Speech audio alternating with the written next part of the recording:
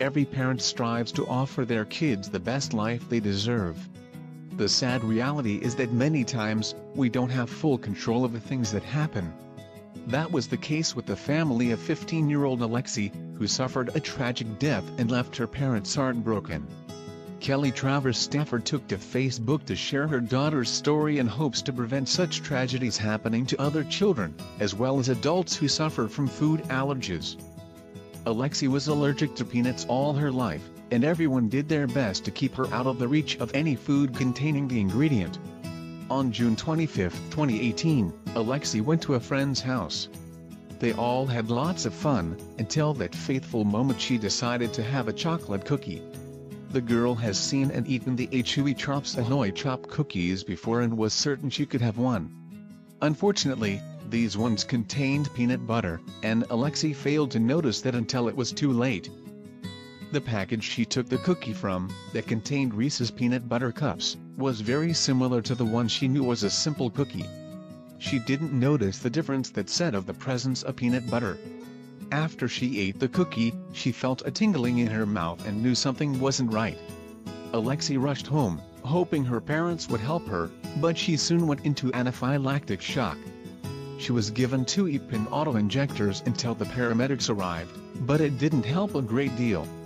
Only 90 minutes after the fatal decision to have that cookie Alexi stopped breathing. As a mother who diligently taught her the ropes of what was okay to ingest and what was not, I feel lost and angry because she knew her limits and was aware of familiar packaging, she knew what safe was, the grieving mother wrote. She continued, a small added indication on the pulled back flap on a familiar red package wasn't enough to call out to her that there was peanut product in the cookies before it was too late. The post was shared in order to raise awareness and make food factories more aware of the customers with food allergies and make their design more clear.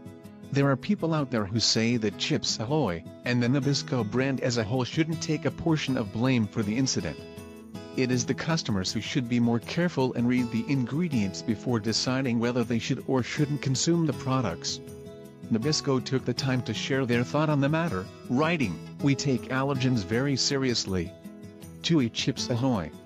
Made with Reese's Peanut Butter Cups packaging clearly shows that it contains peanuts through words and visuals. Package color indicates chewy, chunky, or original. Consumers should always read the label for allergy information, they wrote on social media. Twitter user, Karen Deberg, wrote how she doesn't believe the packages clearly state they contain peanut butter. That is not clear at all. I agree we should all read labels but your customers include children and you should be smarter and care more about their safety. Take a look at this picture. It is not very clear. After what happened in Florida, what are you going to do about it? Alexi's death could have been avoided and it is really a tragic accident.